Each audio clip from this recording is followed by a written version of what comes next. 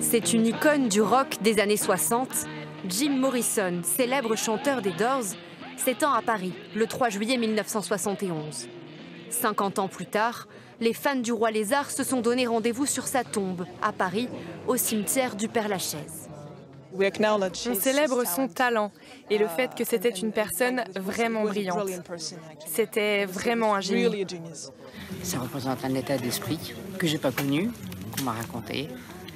Et ça représente euh, une mort beaucoup trop jeune. Avec les Doors, Jim Morrison incarne les rêves et les excès des années 60. Une image de sexe symbole, un visage angélique et sept albums à son actif, le chanteur devient l'idole de toute une génération. Une célébrité qui lui pèse parfois.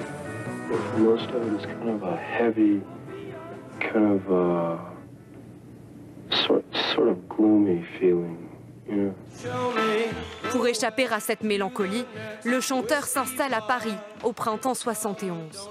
Il espère se réinventer et se plonge dans l'écriture, de poèmes notamment.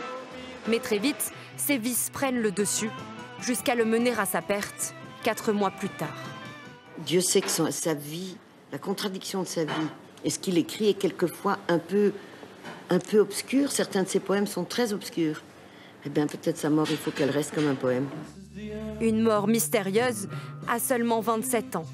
Son décès est rendu public quelques jours plus tard. Un enterrement minimaliste qui contraste avec l'émotion des fans. Toujours palpable 50 ans plus tard. People are strange when you're a stranger. Faces look ugly when you're alone.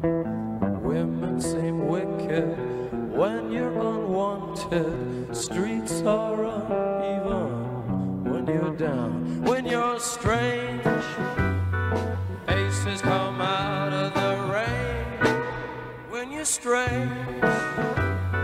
No one remembers your name when you're strange. When you're strange.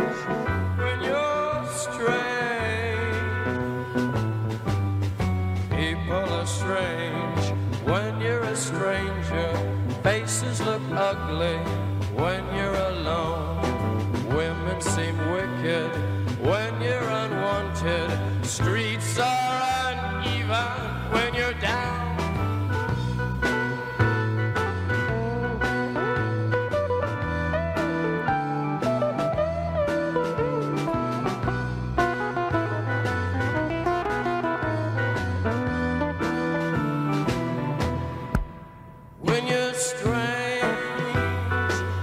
is